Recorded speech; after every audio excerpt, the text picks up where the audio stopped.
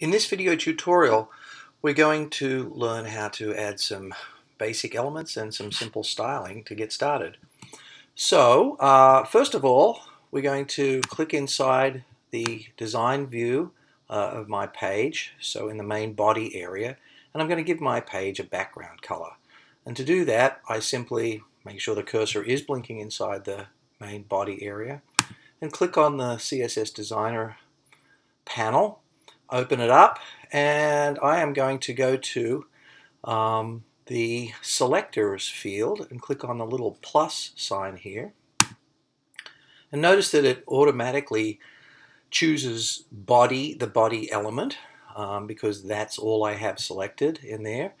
And I'm going to go ahead and hit return. And then I get a series of property shortcuts up here in the properties area. Um, and um, the fourth from the left, if notice if you hover the mouse over them, it tells you what these property groupings are. The fourth grouping from the left is the background um, grouping. And I'm going to choose that and simply go to background color, click on the little pop-up uh, color picker, and I'm going to choose this sort of salmon color over here for my background color. You can choose whatever color you want. When you're done, hit return again, and voila, the background of your page changes.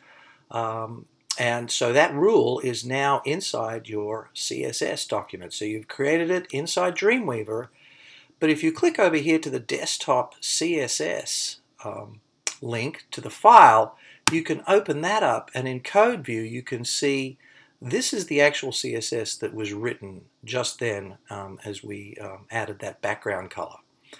I'm going to go back to source code for our HTML source code. Back inside the body, click inside the body area again. Now we're going to add our first element to our page, which is going to be a header. So I'm going to go over this time to the um, Insert panel and choose Insert.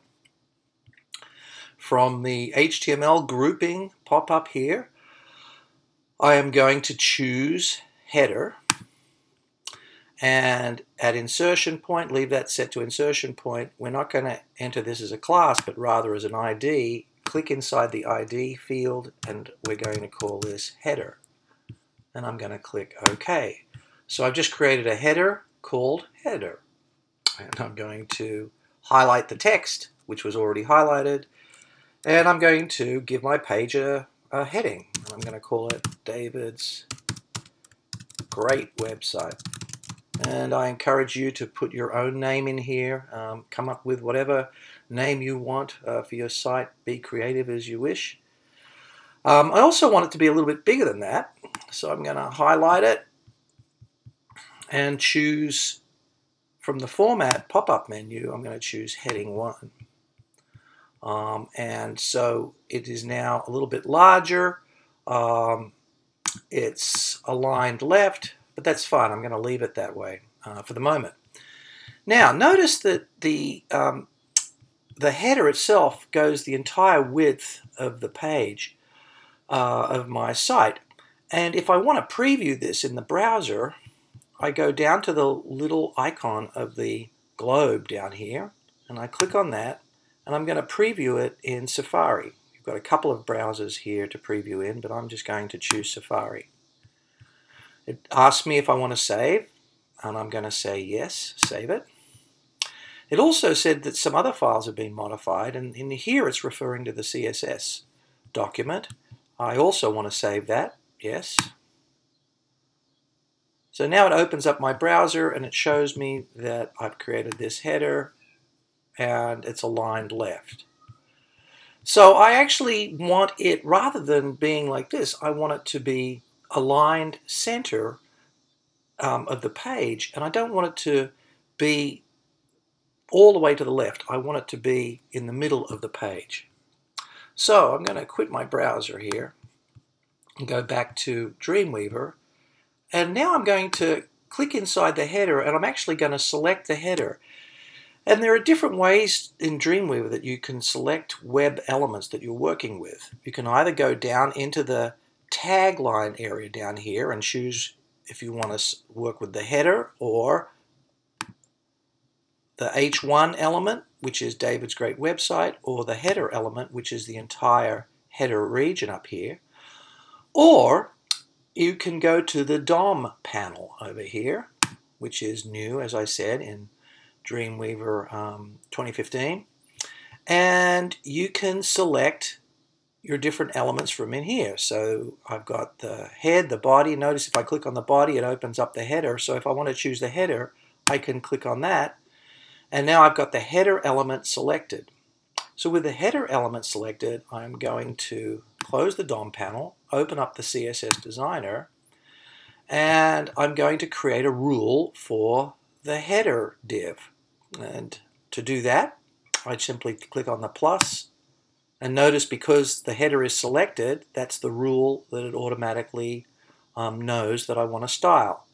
So click return, and I'm going to go over to the layout area, which is already selected, and I'm just going to set the width for my header by choosing the width property and selecting pixels and then I get this area that I can type a number in or you could use a slider to move different values but I'm going to make it 750 pixels wide and 750 pixels is just a pretty good width for a web page if you want a fixed width web page. Um, uh, it's, it's kind of an, uh, an average size width for a fixed width page. So I'm going to leave it set to 750 pixels. And then I'm going to go down, I'm going to leave all the other properties untouched. I'm going to go to the margin area and I'm going to set the left margin here to auto. And I'm going to do the same with the right margin. Set it to auto. And then I'm going to close the CSS Designer panel. So I've set my width to 750, my left margin to auto, my right margin to auto. Just close that. And so here is my header um, now, centered in the middle of the page and 750 50 pixels wide. And let's preview that and see what that looks like now by opening the browser, opening the page in a browser. And I'm going to choose Safari again. Yes, I want to save the CSS and the HTML. And there, you can see now that I've got my um, header div, so it doesn't go all the way over to the left unless I've, of course, moved the page over that far. So that's a little bit better, and now I'm ready to go on and start designing my other elements.